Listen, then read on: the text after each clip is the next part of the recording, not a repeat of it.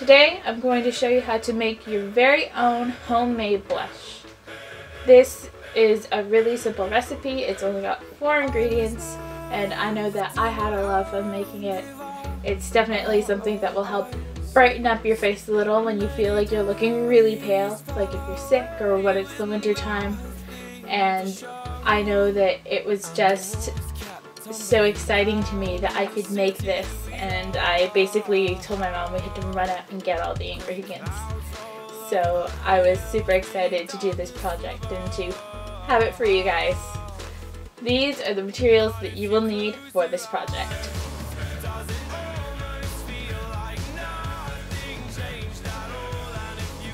To start off, you're going to need two tablespoons of beetroot powder. I know for me it was a little difficult to find. I had to go to a local health food store to get it, but I've also heard that you can get it places like Whole Foods. It's a bit of an uncommon item. There is a way to make it yourself, and I will put a link in the description, but this will have the red pigment that you need in your blush. Next, you'll need one tablespoon of cornstarch.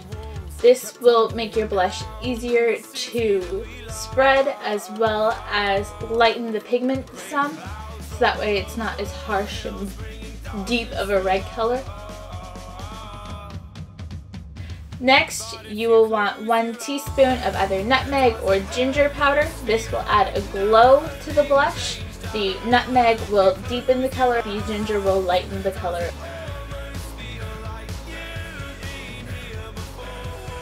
Finally, you're going to want 3 to 5 drops of your favorite essential oil. Personally, I use lavender, but you can use any oil that you really enjoy.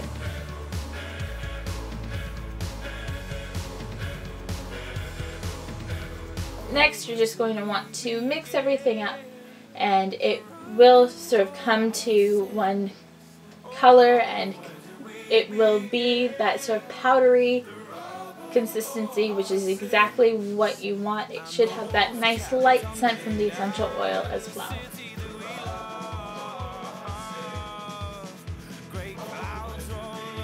And then you will take it all and put it into a clean, dry container. You can use an old compact or an old blush container. Personally, I used a tiny little Tupperware container I got at the dollar store and this just makes sure that no excess moisture gets into your blush so that it stays the color that it's supposed to be and it doesn't rehydrate the beads.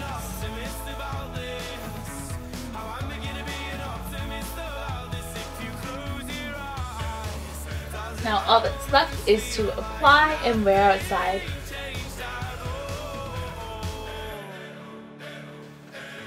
And that's it. I hope you had as much fun making this as I did.